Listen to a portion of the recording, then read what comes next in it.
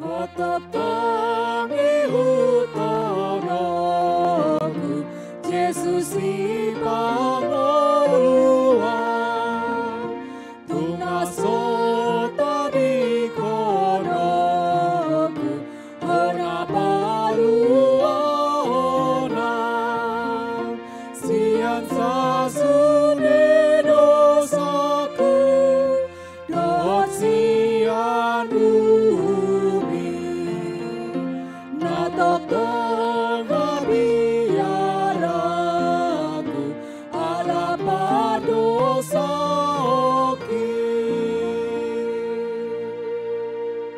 Mari kita bersatu di dalam doa.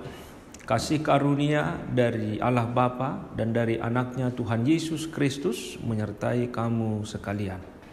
Amin.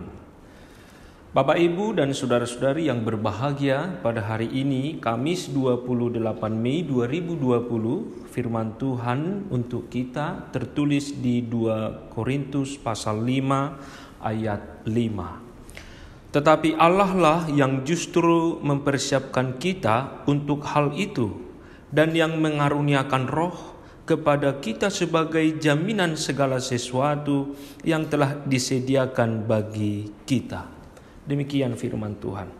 Saudaraku, Paulus mengirimkan surat ke jemaat Korintus untuk kedua kalinya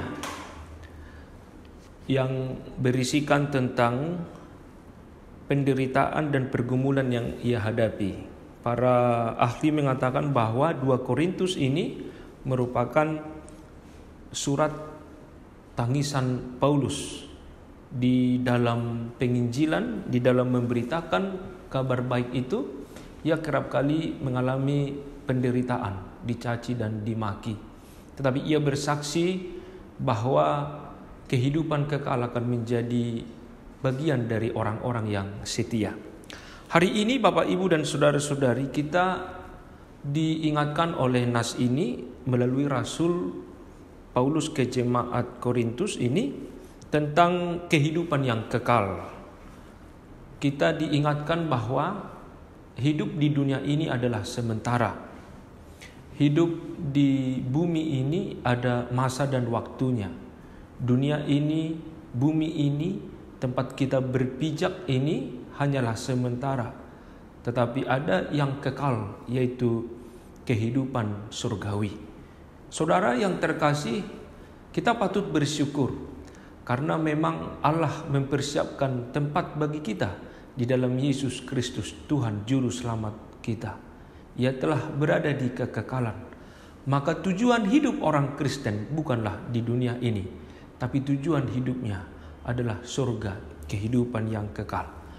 Untuk memahami nas yang saya bacakan tadi, kita tidak bisa terlepas dari ayat 1 pasal 5. Saya bacakan karena kami tahu bahwa jika kemah tempat kediaman kita di bumi ini dibongkar, Allah telah menyediakan suatu tempat kediaman di surga bagi kita, suatu tempat kediaman yang kekal yang tidak dibuat oleh tangan manusia.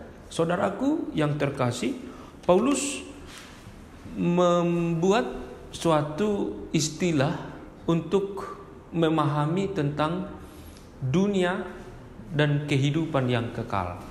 Istilah yang dipakai yaitu kemah. Kemah itu mengacu pada tempat kediaman yang sementara. Orang berkemah pasti tidak selamanya ia di sana. Ia akan berpindah-pindah ke suatu tempat. Kata kemah ini juga, saudaraku, bapak ibu yang terkasih, melambangkan tubuh manusia, tempat kediaman yang fana bagi jiwa yang suatu saat saudaraku akan mengalami kematian. Saya dan kita semua suatu saat akan mengalami kematian. Itu yang disimbolkan dengan kemah. Lalu kemudian kemah itu akan dibongkar. Dibongkar itu berarti saudara dirobohkan dan dihancurkan. Kata ini dalam bahasa Yunani sebenarnya mengacu atau menggambarkan seseorang musafir yang telah menyelesaikan perjalanan yang begitu jauh, lalu ia membongkar tali pengikat pada pundak binatang yang ditumpanginya dan menurunkan bebannya. Saudara yang terkasih, tubuh fana kita pada suatu saat akan mati dan ikatan kita dengan dunia ini akan berakhir. Itu yang hendak dikatakan oleh Paulus. Kita akan mengakhiri dunia ini, tetapi kita akan memasuki hidup yang baru, yaitu yang kekal. Nah, saudaraku, bagaimana caranya supaya kita sampai kepada yang kekal itu? Bagaimana caranya supaya setiap orang Kristen tidak lagi di dunia ini berpengharapan, tetapi menuju kepada yang kekal, yaitu surga? Itulah nas kita pada saat ini, bahwa Allah lah yang telah mempersiapkan kita untuk itu. Ternyata jauh dari dulu Allah telah mempersiapkannya. Di dalam Yesus Kristus yang telah datang ke dunia ini, Allah menyempurnakan itu. Ia telah mati dan bangkit dan telah mempersiapkan kehidupan yang kekal di surga. Di sana kita tidak lagi berkemah, sebab dunia inilah kemah kita, tapi di surga adalah kehidupan yang kekal. Tuhan Allah Bapa di sorga mengaruniakan kita roh. Sehingga dengan roh itu kita diberikan jaminan tentang segala sesuatu yang telah disediakan bagi kita. Ingat Bapak Ibu dan Saudara-saudari, tubuhmu dan tubuhku ini adalah milik roh Allah, diam dan bekerja. Oleh karena itu barang siapa yang hidup dan menerima roh, itu berarti ia menerima jaminan kehidupan yang kekal sebab roh itu juga diberikan kepada kita sebagai jaminan menuju tempat yang kekal itu. Oleh sebab itu, marilah kita mempersiapkan diri walaupun kita masih di tengah-tengah dunia ini yang fana, yang akan berakhir ini. Kita memiliki iman percaya kita menuju surga yang kekal, maka kita harus berusaha melakukan yang terbaik, harus berusaha setia di dalam firman Tuhan, harus berusaha hidup di dalam kehendaknya. Barang siapa hidup di dalam kehendak Tuhan, barang siapa yang setia dalam kehendak Tuhan, maka ia akan mewarisi tahta kehidupan yang kekal itu. Selamat Bapak, Ibu, dan saudari-saudari, karena tujuan hidup kita tidak terbatas hanya di dunia ini, tetapi di surga kehidupan yang kekal. Amang dan Inang, saudara-saudari, saya, kita semua akan menuju ke sana. Surgoido Sambulota. Surga itu adalah tempat kehidupan yang kekal. Tuhan Yesus memberkati. Amin. Kita berdoa. Terima kasih Bapa, Engkau mempersiapkan surga yang kekal kepada kami.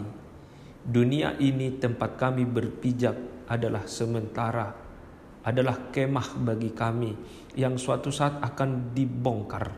Tetapi kami menerima hidup yang kekal karena Yesus sudah mempersiapkannya untuk orang-orang percaya. Kami bersyukur untuk itu sehingga hari ini, saat ini, kami bekerja untuk Tuhan.